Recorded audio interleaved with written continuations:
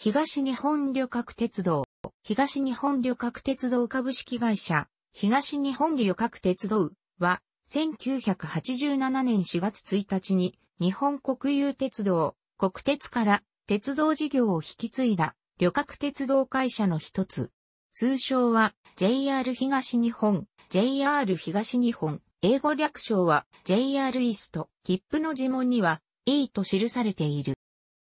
日本国内では東北地方、関東地方、甲信越地方を中心とした地域に鉄道路線を有するほか、多様な関連事業を展開する関係会社の節を参照。英国ウェストミッドランズ鉄道の運行、バンコクメトロへの車両供給など、国際業務部が他社やグループ企業と連携して海外事業も展開している。鉄道を運営する会社としての輸送人数距離で世界最大、運輸収入ではドイツ鉄道と比肩する規模である。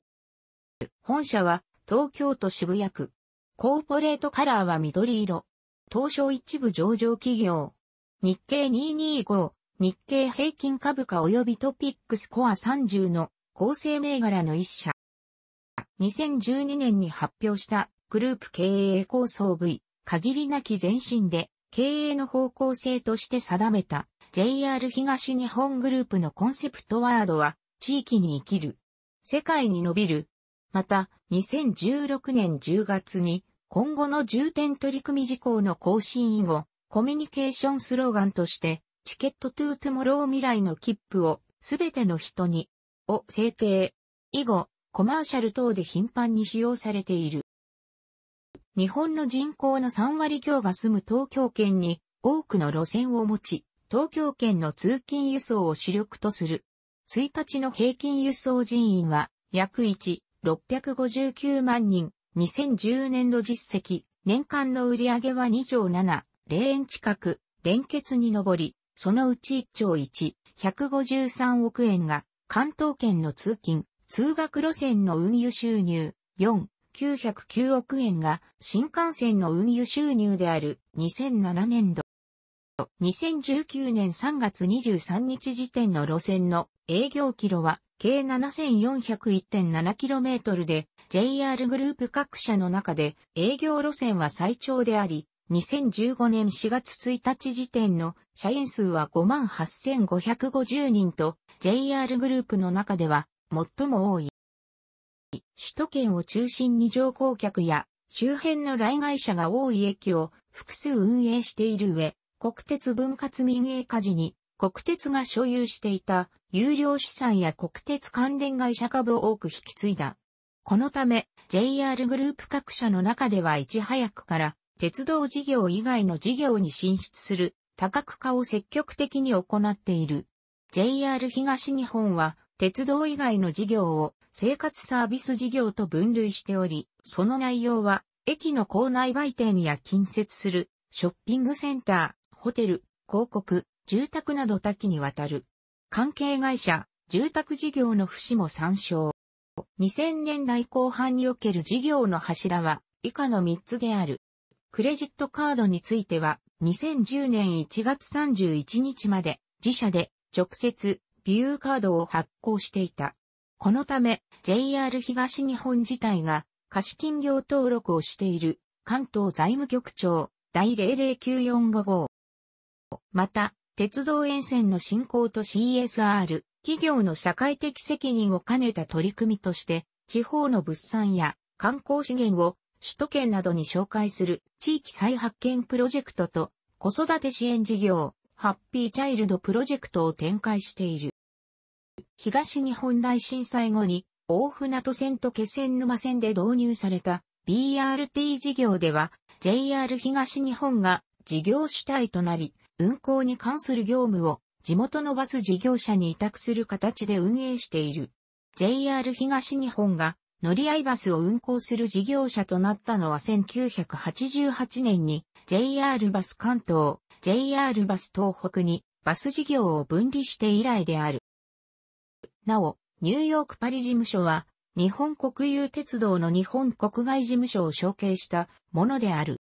国鉄時代、首都圏の路線へ電力供給をするため、川崎市川崎区に建設した川崎火力発電所及び新潟県小千谷市周辺にある信濃川発電所、信濃川中流に設置された宮中ダムから取水を所有し、利用ているため、他の鉄道事業者とは異なり、東京電力からの電力供給が停止したとしても、運行停止などの影響をほとんど受けない。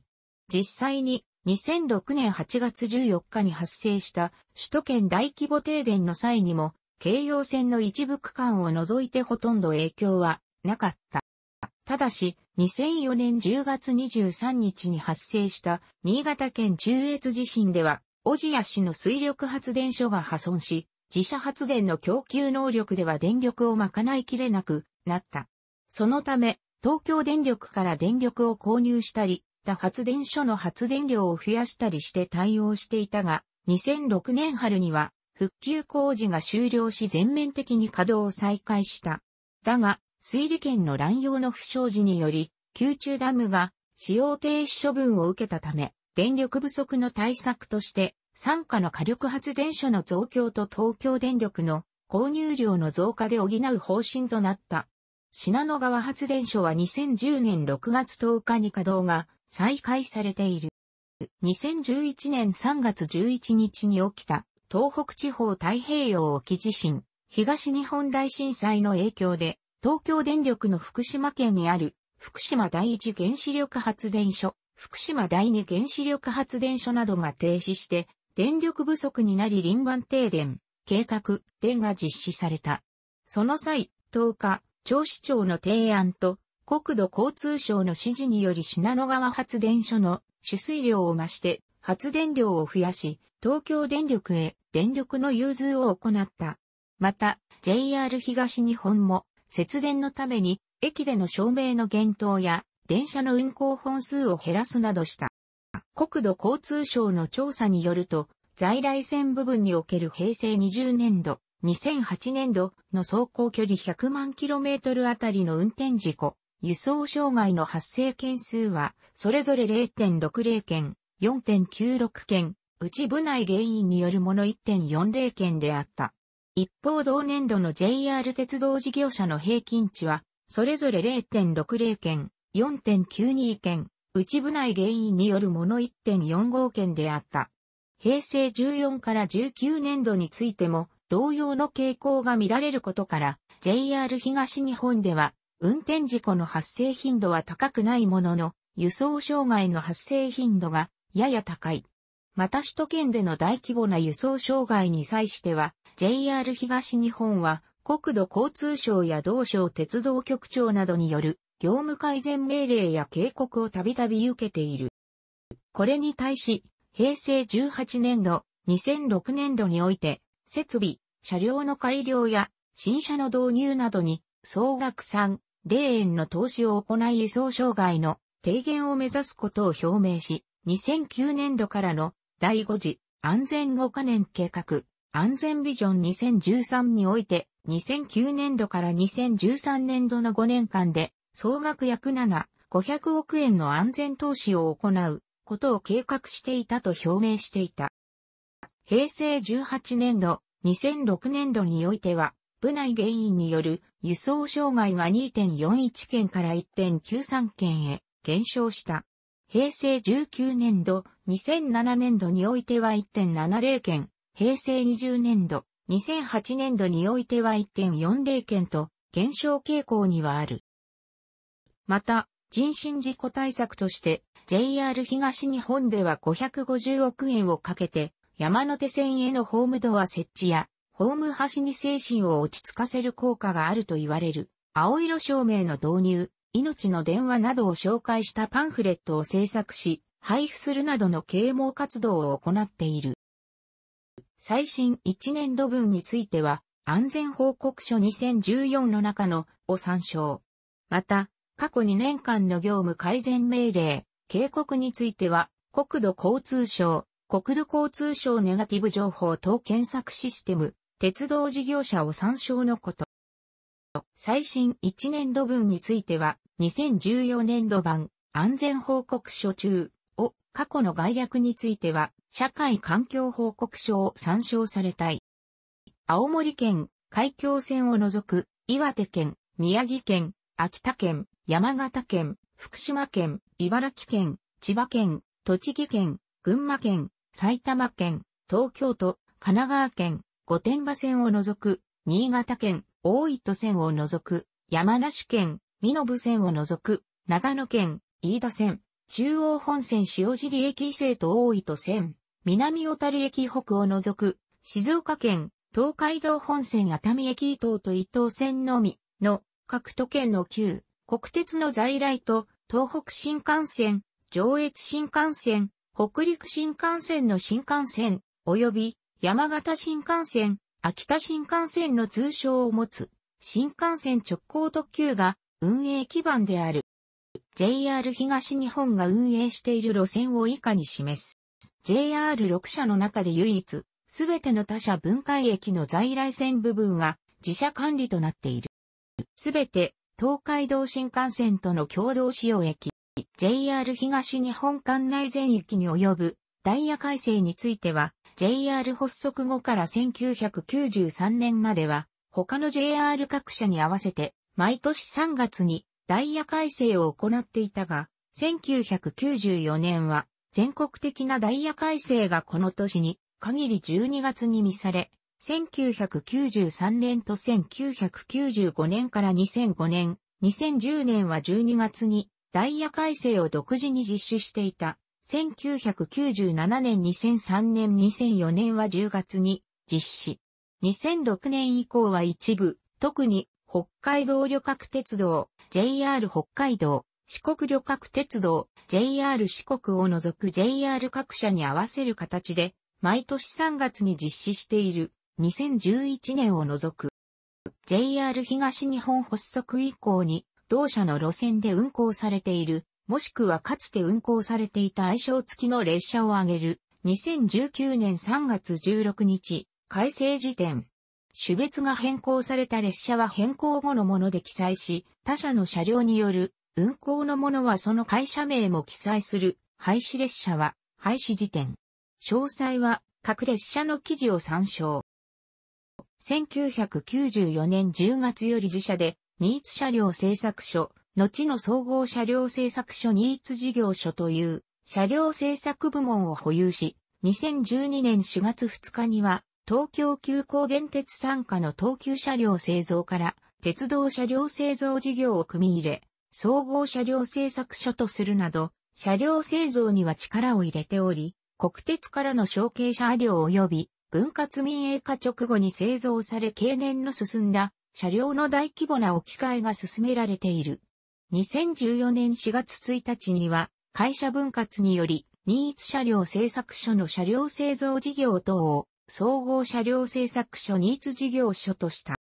総合車両製作所発足後は JR 東日本の在来線車両は川崎重工業製のトレーンスイート式島用車両7両と GVE400 系電気式機動車、新潟トランシス製のキハ E130 系機動車、日立製作所製の EVE801 系、蓄電池駆動電車、日本車両製造製のキア E195 系、機動車型レール輸送車を除き、総合車両製作所で製造されている。ただし、新幹線車両については、川崎重工業、日立製作所での製造が現在も継続している。また、在来線特急系車両ではデザインを主体に携わっていたことから、近畿車両でも E657 系まで製造を担当していた。なお、東京モノレールのモノレール車両は JR 東日本産帰り後も日立製作所のみで製造している。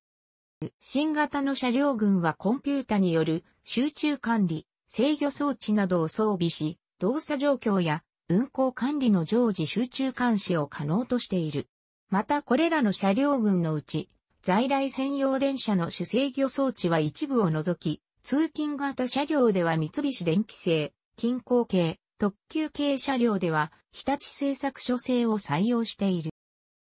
機動車用のエンジンでは、当初は新潟鉄工所、小松製作所、カミンズの3社が採用され、その後はカミンズ製のみとなっていたが、2007年のキハ E130 系以降の車両はすべて小松製作所製。ただし、DMF11Hz ではなく、DMF15Hz が採用されているを搭載している。また、1988年3月のサロンエクスプレスアルカディアの車両火災事故を受けて、当時所有していたキハ58系など DMA117 系エンジンを搭載していた車両に対して新型エンジンへの換装も実施されいる。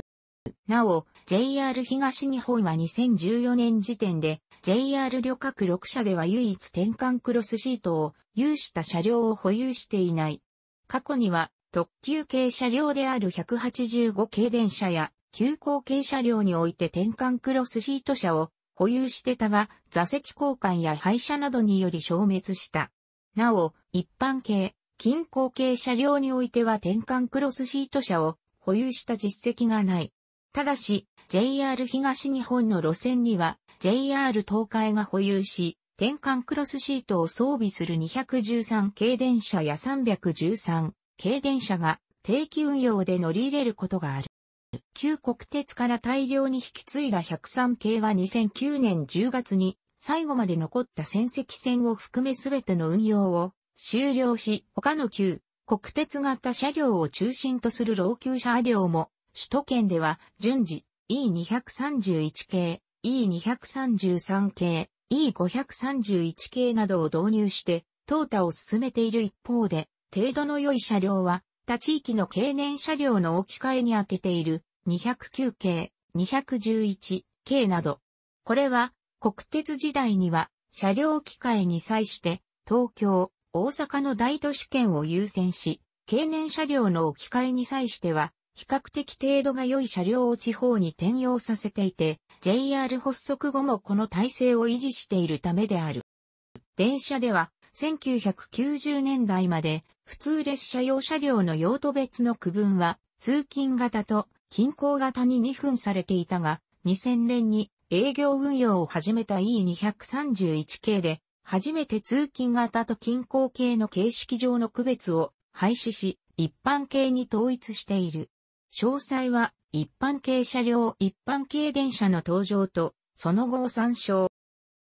同社の都市圏内輸送用の一般系車両は従来の車両から設計や製作手法を大幅に見直し、製造コストの低減を図った経済車をベースにしたものである。これは時代の数勢をサービス提供に即座に反映する目的から車両置き換えサイクルを短く設定するための手法で、1992年、平成4年の京浜東北1901系、後の209系を講師とする。この設計思考は同社のみならず一部の関東、地田車局車両にも取り入れられ、E231 系や E233 系の基本設計などは他社局の複数の車両に採用例があり、車両の製作コストの削減にも寄与している。通勤圏の拡大に伴い、近郊路線においても混雑緩和のためロングシート車を投入し、1列車あたりの収容力向上を図った。この方針は地方路線にも波及し、収容力向上と合わせ車両所要数の適正化を図っている。一方、非電化線区では輸送量が小さいこともあり、機動車ではキハ40系の一部がロングシート化された他は、アテラザー専用のキハ101型とクルリ用のキハ E130 計100番台のみにとどまっている。ただ、地方路線にまで投入するという極端なロングシート化はさすがに行き過ぎであったこともあってか、2000年代後半以降、地方路線においては、セミクロスシート車主体に再び回帰しつつある701系 E721 系の流れが、その一例。209系の暴走地区転用に際しても一部をセミクロスシートに改造している。特急系車両は、使用路線ごとに使用を特化した車両を導入する当初の方針から、設計を共通化し汎用的な使用を可能とする方針に転換しつつある。これは、新幹線車両についても同様で、線区によって使用車両を統一するという方針のもと、1990年代後半以降は、フル規格の E2 系、ミニ新幹線の E3 系を中心に導入している。また2016年現在、機動車特急の定期運用を設定していないため、JR 旅客6社では、唯一特急系機動車を保有していない。なお、特急系車両の車体は普通行、またはアルミ合金を使用していることが多く、JR 他社と比べて、特急型へのステンレス車体の使用例が少ない。形式としての採用は E26 系客車のみとなっている。グリーン車については、特急系車両においては、JR 発足後の車両では2プラス1人掛けの3列配置とし、他の JR 各社も追随したが、255系電車以降の車両では一部を除いて2プラス2人掛けの4列配置となっている。これは、首都圏ではグリーン車の利用が多いことから、定員確保を重視したものとされる。BRT 区間用のバス車両については、首都圏事業者から購入した中古バスと日野自動車、イスズ自動車から購入した新車が使われ、新車は全車ハイブリッドノンステップバスに統一している。車価は明けゆく空に、1988年4月制定。歌詞は社内公募で選ばれたものに、伊藤明が補い作詞し、作曲は森田光一による。歌手はサーカス、非売品のカセットテープや CD が存在する。公式サイトより、1日平均は、ウランの乗車人員と比較して像を表す。2000年度から2011年度までは、1位から8位の順位はほとんど変動がなかった。一部年度で新橋駅と大宮駅が入れ替わっている。特に2011年度は前年度と比べて1位の新宿駅から27位の町田駅まで全く順位変動がなかった。しかし、2012年度は公開されている1999年度から一貫して5位となっていた東京駅が再開発事業に伴い乗車人員が増加し、横浜駅を追い抜いて4位になった。2013年度は渋谷駅が東急東横線、東京メトロ副都心線の直通により、乗車人員が3万人以上減少して25年ぶりに40万人を下回り、19年間保持してきた3位の座から一気に2ランクも下げ5位まで転し、東京駅と横浜駅の工人を廃することになった。また、同年度は新たに北千住駅が高田の馬場駅を追い抜き、初のベスト10入りを果たした。品川駅は堅調に利用者数を伸ばしており、長らく6位の位置にいたが、2016年度で5位になった。渋谷駅は利用者減に歯止めがかかっておらず、戦術の通り、2013年度は3位から5位へ転落し、2016年度は品川駅にも追い抜かれ6位に転落した。2008年度の東京メトロ副都心線開通時は池袋駅とともに減少傾向にあり、2013年度の副都心線と東急東横線の直通運転開始後は、池袋駅は持ち直しつつある一方、渋谷駅はその傾向がない。上野駅は2015年度の上野東京ライン開通の影響で、上野駅で乗降しない通過客が増えることから利用者減が危惧されていたが、東海道線方面からのアクセスが容易になったこともあり、利用者は増加している。大崎駅は2000年度は山手線単独駅であり、乗車人員も5万人台だったが、2002年12月の最強線、湘南新宿ライン、臨海線の開業後は徐々に利用者数が増え、2018年度には有楽町駅、立川駅の2駅を抜いて14位に躍り出た。秋葉原駅は2000年度時点で17位であったが、つくばエクスプレスの開業もあり、2006年度に上野駅を抜いてベスト10に入った。さらに2007年度に高田の馬場駅を追い抜き、その後も順調に利用者数を増加させている。その一方、上野駅は2005年度まではベスト10にランクインしていたが、2006年度に高田馬場駅に追い抜かされた。2007年度から北千住駅、川崎駅に次いで13位に落ちた。東北地方の駅では、東日本大震災の影響で、仙台駅の乗車人員が1万人以上減少するなどの大幅な減少を記録したほか、一部の駅がデータなしとなった。しかし、2012年度に入り、大半の駅で増加を記録し、特に仙台駅は仙石線青葉通り駅開業後では最も多い乗車人員となった。1日平均。数字は2012年度。グループ会社としては、清掃会社や整備会社といった鉄道に直接関連する部門だけではなく、以下のように多岐にわたる。有価証券報告書によれば、JR 東日本には11の労働組合がある。括弧内は略称。組合員数が最大の労働組合は東日本旅客鉄道労働組合である。会社設立以来、労使共同宣言を締結し、協調路線を取っていたが、2018年の春闘において一律定額部屋を要求、葬儀行為を予告した。